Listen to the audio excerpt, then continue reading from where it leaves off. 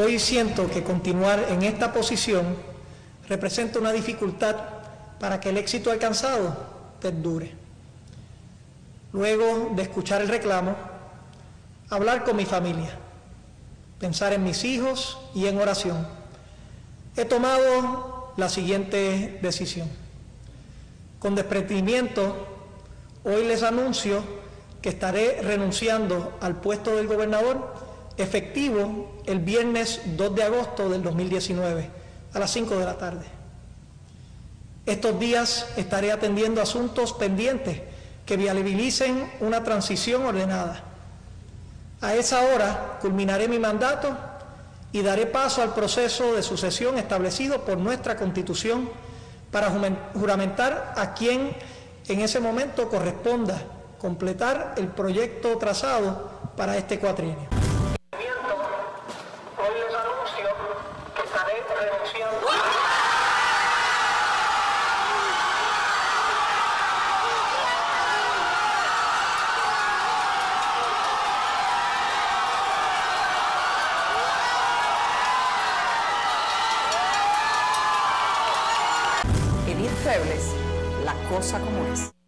Imágenes del júbilo que hubo esta madrugada en Puerto Rico cuando el gobernador Ricardo Rosselló anunciaba que renunciaría. Renunciaba con efectividad eh, terminando agosto, obviamente todavía los los preparativos para eso, en un, eh, digamos, eh, que organizadamente están en marcha, pero ahí están viendo ustedes, hasta fuegos artificiales sabían en esta celebración, Puerto Rico entero y por supuesto muchos en el mundo pendiente de esto. Escuchemos con sonido esas imágenes que acabamos de ver cuando el gobernador de Puerto Rico, Ricardo Rosselló, agobiado por eh, todo lo que significaron 15 días de protestas, que comenzó con un grupo de 10 personas, y terminó con más de medio millón en una manifestación multitudinaria, eh, renunciaba a su cargo, ahí lo tienen. Un chat con comentarios homófobos, eh, también eh, contra las mujeres, burlándose de los muertos y de los vivos, de los que no son de su partido y de los que trabajan con él. Puso en jaque al gobernador hasta tener que renunciar a su cargo. Obviamente ha sido, han sido días difíciles. Nosotros tenemos vía telefónica al señor Micael Rosas. Micael Rosas es del Movimiento Independentista Nacional Ostosiano de Puerto Rico y le agradecemos muchísimo que haya aceptado esta conversación a esta hora de la mañana. Micael, buenos días. Buenos días, buenos días a ti y a todos los hermanos y hermanas de la República Dominicana que, que sintonizan en este momento. Cuéntenos eh, cómo amanece hoy Puerto Rico, cómo ha sido todo el ánimo de esa población que esta madrugada celebraba en las calles y que imagino que casi no ha dormido. Bueno, imagínate un día de mucha, de, mucha tensión, pero mucha alegría también porque nuevamente este, los puertorriqueños hemos, hemos demostrado que somos una islita pequeña, pero que si bien somos pequeñas, tenemos un corazón gigantesco eh, y una solidaridad inmensa, ¿no? Eh, ahora mismo en las calles de, San Juan, eh, previo a, la renuncia del gobernador, ya había convocada una manifestación. Hoy mismo se está dando esa manifestación en el área de la Torre, cerca de la zona bancaria. Y, el ánimo que se ve es, de celebración, eh, pero además de celebración, yo creo, que esto es lo más importante, que esta esta salida del gobernador, porque además con la renuncia fue que nosotros y nosotras lo votamos, por supuesto nosotros lo sacamos de su puesto, marca, marca un, punto nuevo en lo que es la historia política de Puerto Rico. Y yo creo que, que, se caracteriza por una nueva generación que estamos cansados de, la corrupción, del abuso y que estamos dispuestos y dispuestos a construir un Puerto Rico nuevo. Bueno, eh, sería bueno que usted le explicara a la gente cómo ha llegado eh, esto a, digamos, de manera, de manera sencilla, cómo fue que llegó a, incubarse tal, tal molestia en la población puertorriqueña. Eh, se dice que estas han sido manifestaciones históricas. ¿Qué cree usted que pasó en Puerto Rico para conducir a un, un, sitio, digamos, de indignación tan palpable? Mira, se habla mucho del chat, del famoso chat de Telegram, pero yo, como decimos en la isla, yo creo que el chat fue la cherry del postre, ¿no? Esto, no es de ahora, esto se han venido acumulando muchísimas situaciones eh, por año, que no son solamente de corrupción, sino eh, a, vuelo de pájaro te comento alguna, eh, el cierre de 400 escuelas eh, en la isla, las medidas de austeridad, se le ha recortado fondos a la, Universidad de Puerto Rico, recortes a nuestros pensionados, una reforma laboral que, es leonina, que impone unas condiciones de trabajo imposibles, migración, separación de familias por la situación económica. Eh, tuvimos un huracán que el mundo entero vio lo que nos sucedió con ese huracán y esta gente utilizó esa situación para estar traqueteando. O sea, mientras había gente eh, durmiendo bajo tortos azules, mientras había gente sin, sin luz eléctrica, mientras había gente pasando necesidad, esta gente se burlaban de las necesidades del pueblo, dieron contratos a diestra y siniestra eh, a cuesta del sufrimiento de las personas, 4.645 muertes. Y esta gente muchas se burlaban de esas muertes. Eso fue un, eh, evidentemente que, que, la gente se sintió indignada. ¿Qué podría pasar ahora? ¿Qué es lo que se estima? El, el gobernador ha renunciado. He visto que asegura el periódico de su país, eh, El Nuevo Día, eh, que en el poder legislativo no confían en él. El presidente de la Cámara dice que desconfía totalmente de Ricardo Rosselló, por lo tanto está en espera de la carta oficial donde le comunique su renuncia. ¿Qué va a pasar ahora? Porque incluso iba a haber una interpelación de él. Eh, ¿Qué se espera en términos de procedimientos? ¿Qué pasaría? Mira, esta es la primera vez que esto sucede en Puerto Rico, así que hay que comenzar por ahí. Eh, me gustaría comentar unas cositas rapidito. Primero, eh, la, la, la, Cámara de Representantes ha, planteado que ya no confía en el gobernador, eh, pero fueron, o sea, tardaron demasiado de mucho en tomar acción ante lo que era evidente. Ya. No fue hasta ayer y hoy que dicen que le retiran la confianza. El pueblo ya le había retirado la confianza. La confianza la retiró primero el pueblo. Entonces primero fue el pueblo y ellos actuaron después. Claro, entonces, entonces dentro de, muchos legisladores de su partido, en un día decían una cosa, otro día decían otra, luego decían que había que darle espacio al gobernador, eh, y, y verdad, tuvieron ese gorro de palabras hasta que, bueno, ya la, ya la suerte estaba echada, ¿no? Este, sí que es importante señalarlo. El gobernador ayer eh, había dicho que iba a dar un mensaje temprano durante el día, estuvo el país entero esperando el día entero, no fue casi hasta la medianoche que finalmente salió el mensaje a través de la plataforma Facebook. Eh, y él plantea que renuncia efectivo el 12, eh, el 2 perdón, de agosto a las 5 de la tarde. Ahora bien, lo que sucede es lo siguiente. Ante este escándalo, se supone que eh, ante la ausencia de la figura del gobernador en la cadena de mando, quien continúa sea la Secretaría de Estado. ¿Qué sucede? El secretario de Estado de la parte del chat eh, y, el, y ya, no, ya, forma parte del gobierno. Ricardo Rosselló le, le despidió, porque eso es gracioso, él despidió a todos los que estaban en el chat, menos a él mismo. Así que estamos sin Secretaría de Estado. Quien, quien sigue en la línea de mando sería la Secretaría de Justicia, ahora mismo. Y parece ser, eh, todo indica que va a ser quien va a asumir la posición de gobernadora, pero la Secretaría de Justicia tiene unos serios señalamientos de corrupción, no solamente de corrupción, sino de persecución y lo que, lo que en Puerto Rico le llamamos calceteo. Y hoy mismo se publicaron, eh, una periodista en Puerto Rico publicó un documento en su poder donde la Secretaría de Justicia se negó a realizar unas investigaciones que le perjudicaban no solamente al gobernador, sino a otras figuras eh, dentro del gobierno. Para que tengamos una idea, esta Secretaría de Justicia, hace unos meses atrás, planteó públicamente que el Departamento de Justicia del que, el que ella dirige fabricaba casos. para que tengamos una idea, así es el panorama que tenemos. En caso de que la esto sigue complicando, porque en caso de que la Secretaría de Justicia renuncie estos días o se le hagan acusaciones a nivel criminal, que es un rumor también, quiero entrar en especulación, pero eso puede ser entraría el secretario del Departamento de Hacienda. ¿Qué sucede? Que ese secretario del, Departamento de Hacienda no tiene edad suficiente para ser gobernador, le da misma. Así que podría entonces entrar el secretario de Educación. Falta mucho todavía.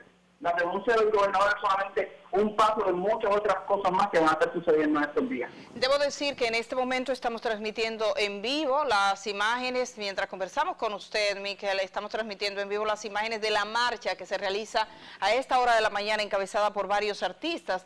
Eh, eh, los artistas han sido cruciales. Hábleme de la manifestación que hay en estos momentos en las calles puertorriqueñas, de las actividades que siguen sucediendo y de la participación de sus artistas. Sí, eh, la, la, la clase, no solamente la clase artística, sino eh, deportistas y, figuras públicas. Y yo creo que la lección que nosotros nos llevamos de esto es que en estas situaciones no, no pueden haber posiciones neutrales. En estas situaciones uno tiene que tomar bando porque no se puede estar con Dios y con el diablo a la vez, ¿no? y, y, y, muchas veces se escucha por ahí que el deporte y la política no se pueden mezclar, que el arte y la política hay que mantenerlos separados. Oye, los deportistas, los artistas y las figuras públicas son ciudadanos como cualquier otro y otra, que estas medidas les afectan. O sea, todo esto de la corrupción, las medidas austeridad les afecta también. ¿Y cómo es que se pretende que sean personas que no tengan opinión, que estén así como neutrales? Yo creo y yo estoy, yo, yo felicito y estoy más que orgulloso de todos esos artistas que salieron sin miedo alguno, hasta detuvieron su, su gira y su, y su carrera momentáneamente para el paso enfrente. En algún momento salió la palabra eh, independencia, vi que por ejemplo eh, Residente, Calle 13 decía, esto no es un movimiento, esto es un movimiento que todo el mundo está unido, aquí no hay partidos políticos, pero como usted pertenece al movimiento independentista nacional ostosiano, nos gustaría que nos hablara un poco primero de, de ustedes mismos rápidamente y de la composición política de los partidos y las organizaciones, cómo se, cómo se ve el futuro de Puerto Rico. Mira, yo creo que nosotros estamos en, un momento de quiebre. Eh, estamos en un momento donde hay un cambio eh, generacional que es muy, muy, muy curioso, hay que ir echando los ojos. Eh, en Puerto Rico la política como se maneja principalmente en términos de, de, la composición de los partidos gira alrededor de lo que es el estatus político de la isla. Yo creo que hay unos puntos de consenso en la isla que que podemos partir de ellos para poder analizar la situación. Número uno, es que nosotros somos una colonia de los Estados Unidos. Estados Unidos a nosotros nos impuso una junta de control fiscal hace eh, dos, tres años, que es la que impone medidas de austeridad y así deshace en la isla, eso es un hecho. Nosotros no podemos desarrollar nuestra economía nacional porque está sujeta a, la, a las leyes del mercado estadounidense. Nosotros no podemos controlar nuestro espacio. Una isla que no puede controlar su espacio marítimo, que no puede controlar su espacio aéreo, que no puede controlar sus fronteras. Esa es la situación que nosotros tenemos de frente con los Estados Unidos. Así que el primer punto de consenso es que somos una colonia. Eso ya es innegable. Eh, una colonia del siglo XXI. O sea, eh, el segundo punto es que yo entiendo que la mayoría de la población puertorriqueña rechaza la estabilidad se han hecho unos plebiscitos, como decimos nosotros, unos plebiscitos amañados, que cuando uno analiza a profundidad el resultado de esos plebiscitos, lo que tenemos claro es que la estabilidad no es favorecida por las grandes mayorías del país. El tercer punto de consenso es que el estatus actual que nosotros tenemos es insostenible. Yo, por ejemplo, eh, ya vemos un sector de la población que así lo creemos, eh, entendemos que la independencia es la salida para poder tener una negociación saludable con los Estados Unidos. O sea, aquí no se trata de que ustedes son horribles, malos, váyanse, no se trata de que eh, tenemos que entablar un mejor negocio y que Estados Unidos no puede tener la potestad de decirnos a nosotros con quién hacer o no hacer negocios. Es decir, nosotros lo que planteamos es que la independencia es la herramienta para abrirnos al mundo, para nosotros tener control de nuestras relaciones diplomáticas, tener control de nuestras importaciones, de nuestras exportaciones. Eh, así es que hay que ver, yo creo que, la política en Puerto Rico se está moviendo muy rápido, eh, así que hay que ver qué sucede próximamente. Las próximas elecciones van a ser interesantes por demás. Eh, hay un desgaste de los partidos tradicionales, eh, así que vamos a ver qué, qué sucede. Eh, bueno, nosotros, otro, otro papel que sí me gustaría analizar y que tengo aquí, eh, Miquel, es el de la prensa. Eh, fue un grupo de, periodistas, un centro de periodismo de investigación, donde debo decir que la mayoría, como aquí, son mujeres. eh, que dieron a conocer eh, el chat de casi 900 páginas. Eh, pero este, este equipo periodístico también había denunciado ya casos de corrupción. El rol que ha jugado la prensa, porque también vi a Jay Fonseca, un periodista puertorriqueño, denunciar que había también una parte de la prensa corrupta que aquí había quedado en evidencia en esos chats. Mira, yo participé de la huelga estudiantil que hubo en, en, la Universidad Pública durante el 2017. Y desde ese entonces, eh, los estudiantes que estábamos en la huelga comenzamos a plantear que habían medios corporativos que no eran otra cosa que finquitas eh, de los grandes intereses en Puerto Rico. El tiempo, lamentablemente, nos dio la razón. Hiciste referencia al Centro de Periodismo Investigativo. El Centro de Periodismo Investigativo es uno de, de, los, de los talleres de periodismo más rigurosos eh, y más serios que hay en Puerto Rico y hacen un trabajo excepcional con los pocos recursos que tienen, porque es un medio independiente, no, tiene el, gran financiero que pueden tener cadenas gigantescas de, periodismo o, o, pero son gente comprometidísima, número uno, número dos, que recibieron amenazas en el proceso, número tres, que los funcionarios públicos temen darles, concederles entrevistas, no les conceden entrevistas, y aún así, el Centro de Periodismo Investigativo, no de ahora, sino de años, de años, ha destapado distintos esquemas de corrupción e irregularidades en el manejo de fondos, eh, en lo que fue el transcurso de Huracán María. Eh, así que yo, yo, yo guardo mucho respeto por ese, por ese grupo de periodistas y yo creo que, que la, la prensa en general eh, en el país, la prensa decente y, y seria, hizo, hizo un gran trabajo hizo un gran trabajo y qué bueno que finalmente se supo que no todo lo que dicen los medios es verdad, hay que tener mucho cuidado y ser muy crítico de la información que nos llega, porque vamos, dentro de este grupo de chat que administraban el país como, como operaban como una mafia, habían, o sea, tenían control eh, sobre publicistas, sobre productores radiales, vamos, el, gobernador, la primera aparición eh, pública que hizo fue en una iglesia. Sí. Luego de esa aparición pública en una iglesia, fue a una emisora bien específica de un productor que, que, se venía señalando por mucho tiempo, no era otra cosa que un emisario del partido de gobierno. Así que yo creo que, que esto nos abre los ojos aquí en la isla y debe servirle de ejemplo a nuestros hermanos y hermanas en la República Dominicana y en el mundo entero. Que hay que, hay que, hay que ir al fino, hay que ser cuidadoso con lo que dicen los medios y nosotros tenemos que hacer nuestra tarea de buscar información y, obviamente, eh, y ser críticos.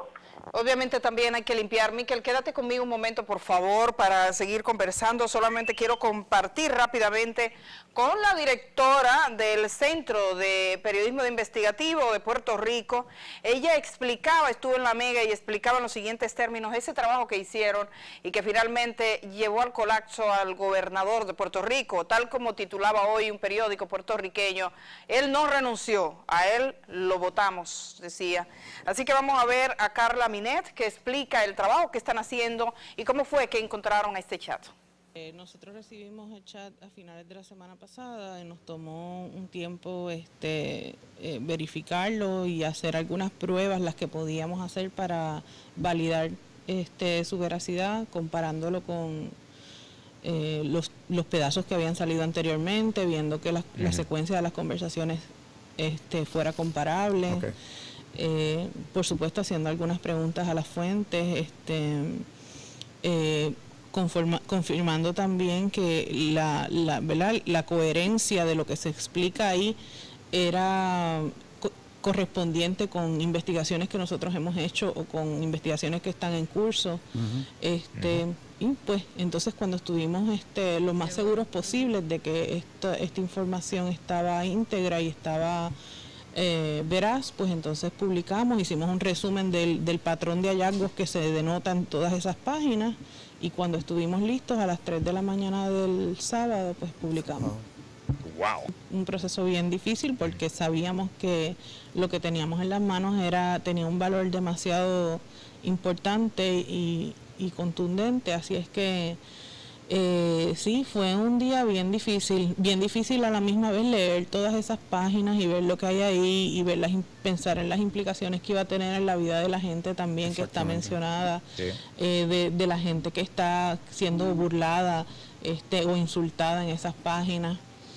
Pero pues a la misma vez nosotros teníamos obviamente una responsabilidad como todos los periodistas y, y no teníamos, este, no había un margen ahí para, para decir este no lo vamos a hacer. Yo pienso que en el conjunto de, las páginas lo que se lo que nosotros percibimos, y si lo tuviera que resumir en oración, es un abuso de poder. Mm. Es un abuso de estar en cargos públicos y de tener poder este para insultar a la gente, para pisotear a la gente, para tomar decisiones de política pública que son solamente beneficiosas a, nivel de partido eh, y que son en contra de la gente del beneficio de la gente, eso es un patrón claro a través de esas eh, 800 y pico de páginas y es muy doloroso verlo. Eh, a veces uno quizás lo generaliza o uno a lo mejor sabe estas cosas, pero cuando uno las ve en blanco y negro, eh, duele, tengo que decir que es doloroso. Cuando llamamos a la fortaleza, eran casi las nueve y pico, casi diez de la noche. Eh, eh, obviamente pues lo que nos dijeron es que no podían comentar sobre un documento que no tenían a la mano, eh, empezaron a poner excusas. La conferencia de prensa cuando reaccionó antes de que saliera la totalidad del chat hacía unas expresiones como de que esto se daba, como quien dice, al terminar el día, en el marco de la privacidad, liberando el estrés, en el tiempo libre. Esto pasa todo el día, a todas las horas. la cosa como es. Era la periodista Carla Minet. Carla Minet es la directora del Centro de Periodismo Investigativo de Puerto Rico, eh, que participaba en la MEG y explicaba un poco ese proceso. Tengo en la línea todavía, si todavía está con nosotros, a Miquel Rosas. Miquel, ¿estás ahí? Evidentemente lo que ella dice es que se trató eh, básicamente de un abuso de poder, se abusó del poder en perjuicio de la gente, se puso los recursos públicos al servicio del partido de gobierno y bueno, el gobernador tuvo una frase, él dijo en un momento determinado, los tomamos por pendejos incluyendo a los nuestros. Así mismo. yo creo que esa frase, yo creo que esa frase fue importante porque en estos 15, 15 días de manifestación eh, cada vez que el gobernador salía a hacer una aparición pública de esas que evidentemente eh, eran montadas, pues rápido en las redes sociales eso era lo primero que salía. Sí, yo vi, yo vi un joven que, un joven que dice, te tomaste por pendejo a la generación equivocada eso, se resume solito. Eh, bueno, yo les eh, yo le agradezco muchísimo, Miquel, que haya aceptado hablar y vamos a seguir en contacto, no perder este contacto eh, con usted. Como usted sabe, Puerto Rico ha sido cuna y refugio para miles de dominicanos.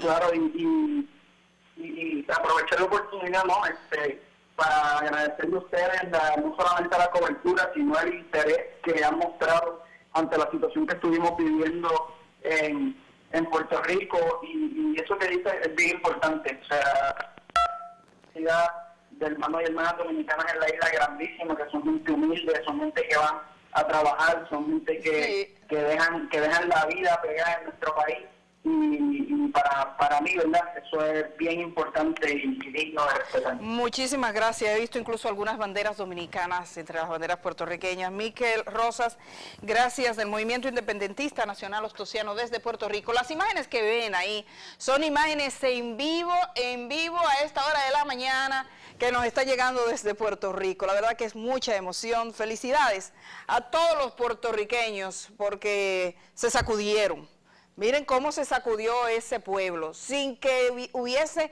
un solo muerto, sin un solo tiro. O sea, los puertorriqueños dijeron ya, paramos. Eso constituye un verdadero ejemplo, pero además tuvieron toda la cobertura, fue el pueblo en las calles y todavía se mantiene.